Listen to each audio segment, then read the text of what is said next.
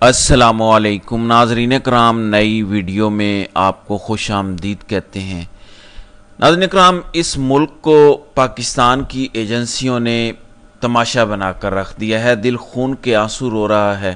آج ایک استاد بولا تو اس کو بھی غائب کر دیا گیا، پھر شور پڑا تو پھر اس کو سامنے لائے۔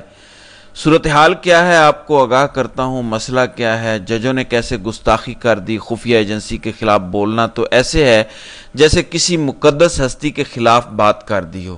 گستاخی ہو جاتی ہے، توہین ہو جاتی ہے۔ ہماری خفیہ ایجنسی اور ہمارے بڑے طاقتور اداروں نے خود کو اوتار کا درجہ دیا ہوا ہے۔ یہ خود کو کسی بڑے ہی مقدس درجے پر فائز کرنا شروع ہو گئے ہیں کہ ہمارے بارے میں کوئی بات ہی نہیں ہو سکتی۔ ہم بڑے کلین لوگ ہیں، جو بندہ ان کے رستے میں کھڑا ہوگا، جو کوئی بات کرے گا، اس کو اٹھا لیں گے۔ چھ ججز نے خط لکھا، بتایا کہ کس طرح یہ لوگ مداخلت کر رہے ہیں۔ اور ٹیریان وائٹ کیس جیسے گندے کیس میں بھی یہی لوگ ملوث تھے۔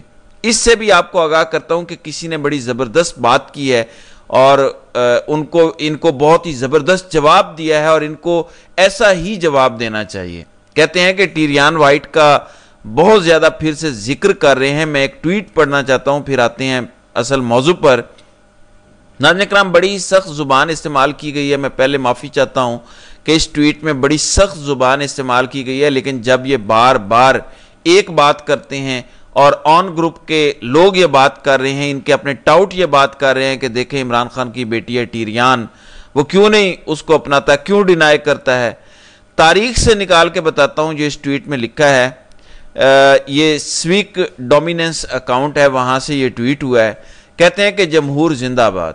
کاش پاک فوج بھی انیس سو اکہتر میں پاکستانی فوج کے اہلکاروں کی جانب سے بنگالی خواتین کے ریپ سے پیدا ہونے والے ہزاروں جنگ کے دوران ہوئے بچوں کی کفالت کرتی اور ان کو دھتکارنے کی بجائے انہیں اپناتی۔ افسوس، پاک فوج کے اہلکار میدان جنگ سے بھاگنے کے ساتھ ساتھ اپنی ذمہ داریوں سے بھی بھاگتے ہیں۔ کاکولی تربیت ہے شاید۔ تو یہ صورتحال ہے بڑا ہی سخت ٹویٹ ہے۔ اب لوگ اتنے غصے میں ہیں، جب آپ ایک بندے کی ایسے بات کریں گے، تو لوگ پھر کہیں گے کہ پھر آپ بھی بتائیں کتنے بنگالی بچے ہیں جن کو آپ نے آن کیا ہے۔ کیوں آپ پر کیوں، کیونکہ آپ پر تو الزام ہے۔ آپ بھی بنگالی نسل اب بھی آج بھی بنگالی نسل آپ پر الزام لگاتی ہے۔ ہم آج تک لڑتے آئے ہیں، دوسروں سے کہ ہمارے ادارے ایسے نہیں ہو سکتے کیونکہ تب ہمارے آنکھوں پر پٹی بندی تھی۔ ہم لڑ پڑتے تھے بنگالیوں سے کہ یہ تم کیا کہہ رہے ہو؟ ریپ کیا تھا، وہ کیا تھا۔ ہم تو پاک فوج کہتے ہیں، اس نے تو غزوہ ہند لڑنا ہے۔ یہ تو بڑے نیک لوگ ہوں گے، پاک لوگ ہوں گے۔ یہ ہماری سوچ تھی، مگر آپ نے سب بدل کر رکھ دیا۔ آپ نے بدل دیا اپنی حرکتوں سے۔ اب ناظرین اکرام، ججز کے پیچھے پڑے ہوئے ہیں۔ تارک محمود جہانگیری کے پیچھے پڑے ہیں۔ یہ سن لیں ان کے کیا کارنامے ہیں۔ وہاں مجھے چار گھنٹے رکھا اور اس کے بعد وہاں سے لے کر آئے مجھے یہاں پر۔ اتفاق سے کون سے جج کا کیس تھا؟ کون سے جج کا کیس تھا؟ یہاں سے لے کے گئے بریگیڈ کھانا نہیں مجھے یہاں سے لے کے گئے بریگیڈ کھانا اور جب آپ لوگوں نے شور مچایا سارا کا سارا تو پھر مجھے یہاں لے کر آئے۔ بڑے شریف بچوں کی طرح رہے۔ یہاں پر لانے کے بعد کہ ہمیں نہیں پتا کہ آپ کہاں پر ہیں۔ جج کون سے تھے؟ کامریڈ جج کون سے ہیں؟ جہانگیری کا کیس ہے بالکل۔ جی جج تارک محمود جہانگیری کا کیس ہے، دباؤ ڈالا جا رہا ہے۔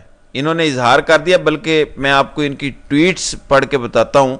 ریاض احمد صاحب نے ٹویٹ کیا کہ over the past week the university of Karachi has faced an unusual level of external pressure یعنی ہم یہ غیر معمولی بیرونی دباؤ جو ہے، وہ کافی عرصے سے برداشت کر رہے ہیں۔ انہوں نے کھل کے بات نہیں کی، سینٹ کی میٹنگ کے حوالے سے ذکر کیا، لیکن اب انہوں نے بتا دیا کہ جسٹس طارق محمود جہانگیری کی وجہ سے یونیورسٹی پر دباؤ ڈالا جا رہا ہے۔ یعنی ان کی ایک ڈگری جو موجود ہے، اس کو جعلی قرار دینا ہے، جو بھی تحقیقات ہو رہی ہیں، سارا کچھ۔ اس میں ہیرا پھیری کی جا رہی ہے۔ دیکھیں، ہم سوچتے تھے نواز شریف امپائروں کو ساتھ ملا کر کھیلتا ہے۔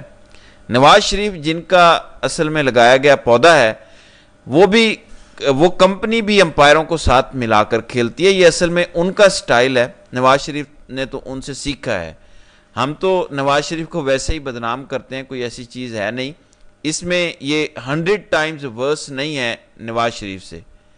فار ایگزامپل، جو نو مئی کے کیسز سن رہے ہیں جج انسدادی دہشت گردی عدالتوں کے۔ راول پنڈی کے جج کو بھی تبدیل کر دیا۔ اس نے گستاخی کی، لوگوں کو ضمانتیں دیں۔ کیسز سے بری کیا، بڑے لوگوں کو بری کیا۔ سرگودا کے جج محمد عباس نے گستاخی کی، لوگوں کو بری کیا، ضمانتیں دیں۔ اور لاہور کے جج، اب مجھے نہیں پتا کہ ان سے یہ کیا کروانا چاہ رہے تھے، جو وہ نہیں کر رہے تھے۔ شاید وہ یہ چاہتے ہیں کہ جلد از جلد سزا ہو وہ لٹکاتے رہے کیسز کو۔ شاید کچھ ایسا ہوا جتنا وہ مانگ، مان سکتے تھے، انہوں نے مانا۔ جو نہیں مان سکتے تھے، نہیں مانا، ان کو بھی تبدیل کر دیا گیا ہے۔ تو لاہور ہائی کورٹ میں جسٹس عالیہ نیلم نے یہ سب سے بڑا مایوس کن فیصلہ کیا ہے جو ان ججز کو تبدیل کیا ہے، خاص طور پر راول پنڈی اور سرگودا کے ججز کو۔ لاہور کے جج کے حوالے سے اوبیسلی شکایات ہیں کہ وہ کچھ صحیح فیصلے نہیں کر رہے تھے، لیکن یہ جو دو ججز ہیں، یہ بہت زبردست کام کر رہے تھے، ان کو ہٹا دیا گیا۔ سرگودا کے جج نے خط لکھا لاہور ہائی کورٹ کو جو پچھلے ملک شہزاد تھے، chief justice Lahore high court, انہوں نے اس خط کا ذکر کیا باقاعدہ اپنی سپیچ میں اور بتایا کہ ہم ان کو تحفظ دیں گے۔ اور جسٹس عالیہ نیلم نے ان کو کیا تحفظ دینا تھا، انہیں تبدیل کر دیا۔ یہ تم، ملک تماشا بن چکا ہے۔ ایسے ملک چلائیں گے۔ کوئی جج بولے، غائب کر دو۔ کوئی استاد بولے، یونیورسٹی کا ٹیچر بولے گا، تم اٹھا کے غائب کر دو گے۔ کیا کوئی مذاق چل رہا ہے؟ یہ ملک ہے یا بنانا ریپبلک ہے؟ لوگ اپنے ٹیکس کا پیسہ دیتے ہیں، خون پسینہ نچوڑ کے کما کے آپ کو کھلاتے ہیں۔ بارہ ہزار ارب سے زیادہ اس سال پاکستانی قوم ٹیکس دے گی۔ بارہ ہزار ارب۔ پاکستانی قوم کی کتنی انکم ہے آپ مجھے بتائیں۔ بیچارے مشکل سے دو وقت کی روٹی کھاتے ہیں۔ وہ بارہ ہزار ارب سے زیادہ ٹیکس دیں گے اس سال۔ ڈائریکٹ ہوگا، انڈائریکٹ ہوگا۔ بدلے میں کیا مل رہا ہے؟ ہماری ایجنسیوں کی طرف سے تباہ کن رویہ۔ اب میں آپ کو بتاتا ہوں یہ سارا ڈیزائن ہے کیا۔ ناظرین اکرام ڈیزائن یہ ہے اور قاضی صاحب نے جو جوڈیشل کمیشن کا اجلاس بھی بلایا ہوا ہے تیرہ تاریخ کو۔ ڈیزائن جو مجھے سمجھ آیا ہے وہ میں آپ کو بتا دیتا ہوں۔ عمران خان کو انہوں نے سزا دینی ہے اور ایک سے زیادہ کیسز میں دینی ہے، کوشش کرنی ہے۔ وہ نو مئی کے کیسز ہوں یا ملٹری ٹرائل کر کے سزا دینی ہے۔ اس سے پہلے یہ ہائی کورٹ میں ساری گیم فکس کرنا چاہ رہے ہیں۔ ہائی کورٹ میں بہت سارے ججز کی اسامیاں خالی ہیں، شاید چالیس پچاس ججز نئے لگنے ہیں۔ قاضی فائز صاحب یہ اسامیاں فل کرنے جا رہے ہیں۔ تیرہ تاریخ کو جو اجلاس ہو رہا ہے، اس میں انہوں نے نام مانگے ہوئے ہیں اور یہ کون سے لگیں گے؟ آزم نذیر تارڑ کے فرنٹ مین سارے، جن کو so called Asma Jahangir group کہا جاتا ہے۔ یہ اصل میں نون لیگ کا فرنٹ بن چکے ہیں، جو آسما جہانگیر گروپ ہے، ان کے وکلا۔ یہ اسٹیبلشمنٹ کی بی ٹیم بن چکے ہیں، پہلے تھے یا نہیں، لیکن اب یہ بن چکا ہے۔ میچ ایسے فکس ہو رہا ہے کہ نچلی عدالت سے خان کو سزا ہو یا ملٹری کورٹ سے ہو، تو پھر اپیل ہائی کورٹ میں آئے گی۔ ہائی کورٹ میں اپنے ججز ہر طرف بیٹھے ہوں گے۔ ادھر سے عامر فاروق، ادھر عالیہ نیلم بھی اپنے کنٹرول میں ہے۔ تو ہر طرف انہی کا کنٹرول ہے۔ یہ جن ججوں کے پاس کیس جائے گا، تین جج ہوں، پانچ جج ہوں، جو اپنے ہوں گے وہ سنیں گے۔ اس طرح سے عمران خان کی سزا وہاں سے بھی برقرار رہے گی۔ اس دوران قاضی کی ایکسٹینشن ہو جاتی ہے یا کوئی ایسی تبدیلیاں ہو جاتی ہیں تو سپریم کورٹ میں بھی قاضی کو فل پار دے کر دوبارہ سے کمیٹی ختم کر کے ساری طاقت قاضی کو دے کر اور عمران خان کو وہاں سے بھی عمران خان کی وہاں سے بھی سزا برقرار رکھی جائے۔ تو یہ بڑا ڈیزائن مجھے نظر آ رہا ہے۔ میں یہی کہہ سکتا ہوں کہ یہ ان کی کوشش ہے، لیکن ایک سائڈ پہ ایک سائڈ یہ بھی کہتی ہے کہ یہ سارے حربے عمران خان کو توڑنے کے لیے، عمران خان یہ کہتے ہیں کہ مجھے امید ہے کہ عدالتیں ہماری سٹینڈ لیں گی، کھڑی ہوں گی، صحیح فیصلے دیں گی۔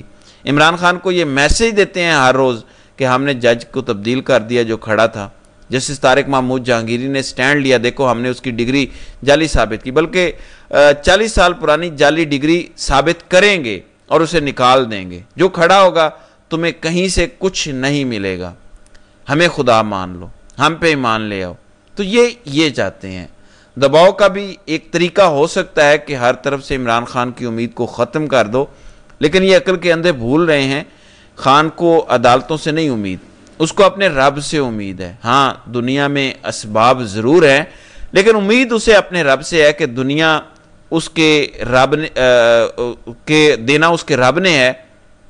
اس کو جیل میں جتنا عرصہ رہنا ہے، اس کے رب کی مرضی سے اس نے رہنا ہے، جیل سے کب نکلنا ہے، اپنے رب کی مرضی سے نکلنا ہے۔